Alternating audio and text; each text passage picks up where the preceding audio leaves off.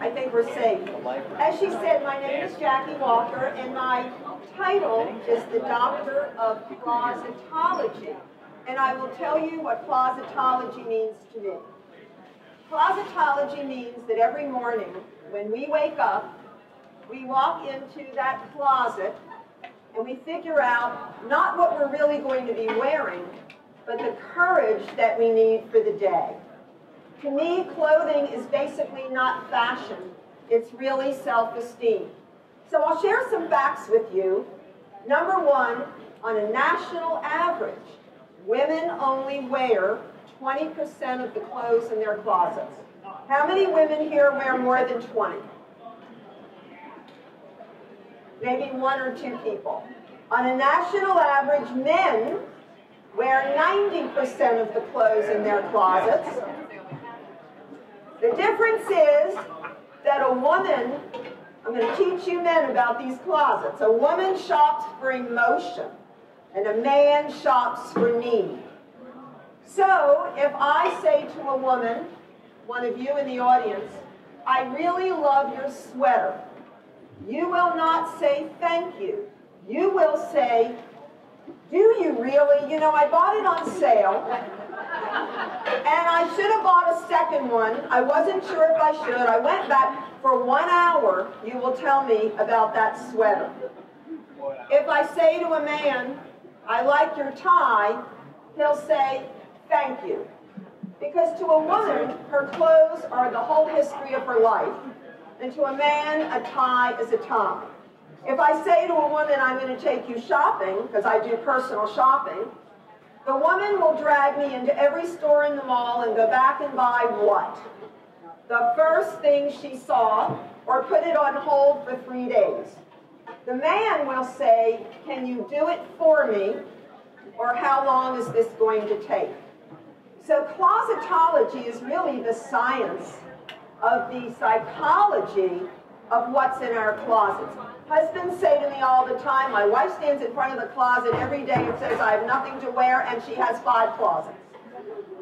He doesn't understand when he's looking at tons of clothing why his wife, girlfriend, says, I have nothing to wear. It's because we have nothing to wear that makes us feel beautiful. Is that not right? Nothing that gives us the security to go out and meet what we want to meet for the day. So I'm going to teach you how to never say those words again in the time we have together. And I want to thank Eddie Z's for bringing me here because they're doing custom closets now along with their drapes and blinds. They're offering 30% off on custom closets now. And um, what I love about Eddie Z's closets is they don't just build one size fits all.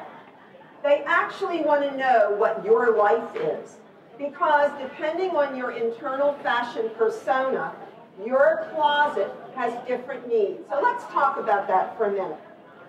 Every woman is born with an internal fashion persona. It's who you were at birth. Now, a man will have a few, but a women, women will have five, and I'm going to describe them to you. What happens is, if you don't know who you are, you buy things and never wear them, and I'm sure all of you have things in your closets with tickets on them you've never worn. So let's describe them. And I know who everybody in this audience is, and I can tell just by looking at you. And if you want to know who you are, again, you can meet me at Eddie Z's booth after the performance, and I will tell you your internal fashion persona. And if you bring your guy with you, I'll tell you his.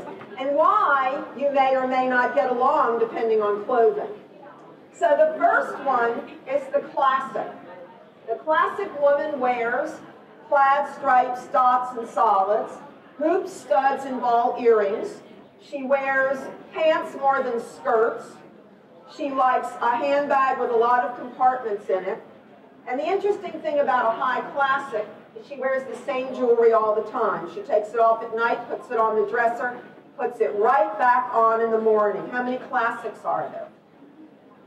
All right, now if you do have classic in you, it doesn't mean that's your total persona because everybody is a mixture of different personas. So that's everyone's going to have some classic in them. So let's go to the next one. This is the romantic. The romantic woman has curl to her hair. She has florals and prints and lace, and if it has a bow on it, she buys it. She loves pearls. She usually wears one strand and they drop right here. She does drop earrings. She's pink, pink, pink. Everything is very soft and romantic. And then we have the natural.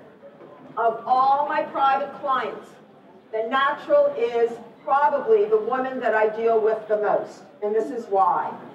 She wears very little makeup. She doesn't want to take the time. She wears two-piece dressing because thinking of the third piece is too stressful. She has two favorite words in life. One is comfortable, it must be comfortable, and the other is elastic. She loves elastic. So everything is very natural.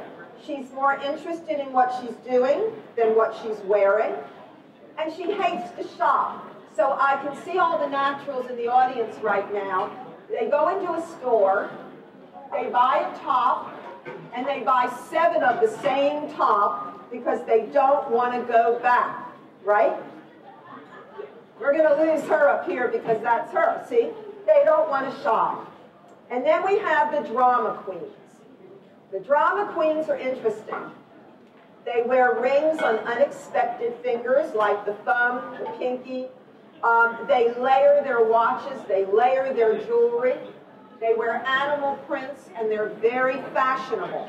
They read all the fashion magazines and they cut out pictures and actually go and look for the items. So the classic, the natural, the dramatic, and the romantic. The last one is the mood dresser. Now the mood dresser has everything in her closet. She can wear something for every occasion. But the problem is she doesn't know who she is so she changes clothes three to four to five times a day and leaves the house unsure of how she looks and spends the day asking everyone, do you like me in this? Do you think I look okay? Because she's not quite sure of her appearance.